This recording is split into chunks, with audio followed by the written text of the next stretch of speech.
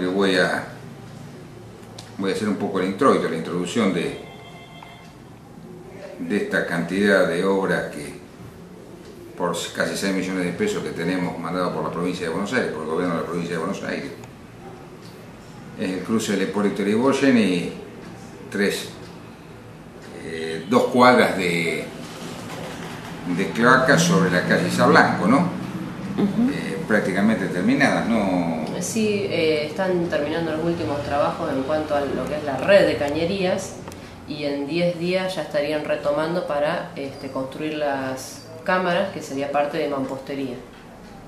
Sigue terminándose la, la- las placas de barrio del polígono, están haciendo las cámaras, es decir, sobre eso seguimos avanzando y después vamos a avanzar sobre una obra que nosotros la consideramos de importancia, que es sobre la avenida Antártida. Sí, sobre la avenida Antártida es un canal aliviador, un conducto aliviador de cloacas, digamos, Ajá. que va a permitir que desde la eh, Hilario Lagos hasta la Avenida España podamos, digamos, eh, conducir las cloacas aliviando toda la- esa zona y pudiendo de esta manera eh, comenzar con algunas nuevas obritas pedidas por los vecinos en todo lo que es la zona de la calle América, que hasta el momento no se podía porque estaba colapsada la red, digamos.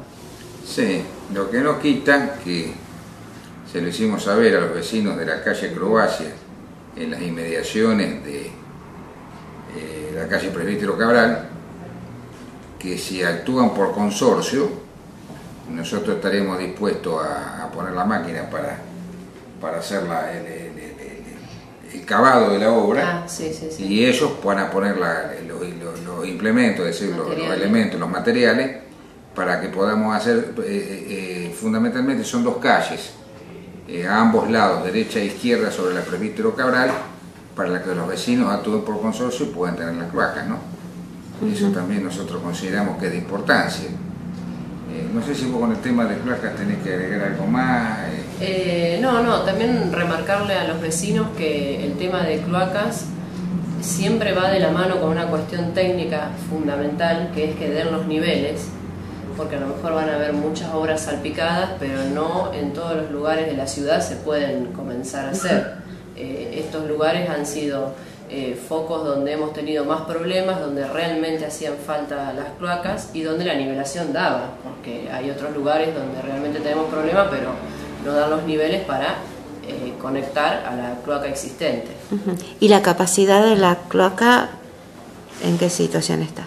Bueno, eso está también complicado. Este, se está trabajando la planta, gestionar ampliación de la planta, ya sea duplicación o este, planta nueva. Pero bueno, esos son todos proyectos más a futuro.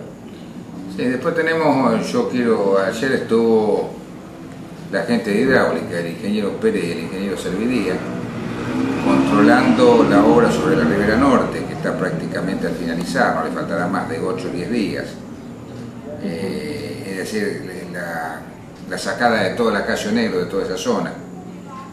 Pero bueno, otra de las cosas que realmente me parece importante, que el día 10, si no me equivoco, me comunicó que van a estar en Salto alrededor de dos empresas, 12 empresas, que van a venir, eh, que se van a presentar a licitación eh, para la limpieza de la cuenca del río Arrecifes. Eh, al ser la cuenca del río Arrecifes se van a presentar en licitación en una primera parte para, la, para, el, río, para el río Arrecifes y en una parte a la- simultáneamente para el río Salto.